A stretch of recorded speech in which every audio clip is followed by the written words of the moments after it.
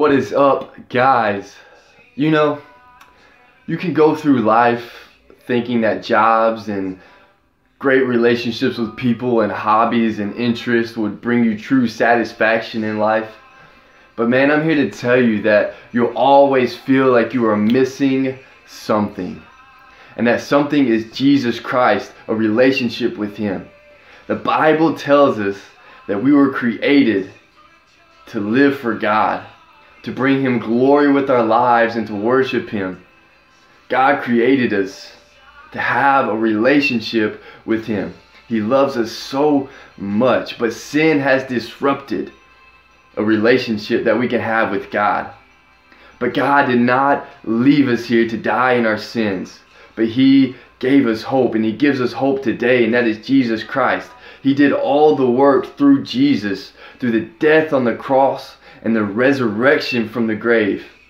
God has done all the work for us to have a relationship with Him. And so, how do you do that? How do you start living for God today, finding true satisfaction, true fulfillment, true joy, and true peace in your life? So, I'm here to tell you today that, man, having a relationship with Christ brings you true peace and true joy in your life. It doesn't mean you have all the answers. It doesn't mean you're, you don't struggle. It means that God is with you in your struggles and you have peace and comfort because God, because of Jesus, is the rock and the foundation and He is your strength.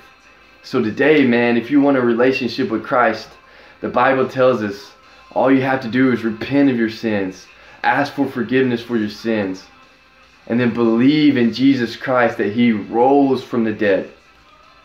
Simply put your faith and trust in Jesus Christ, that He alone can save you and make you right with God.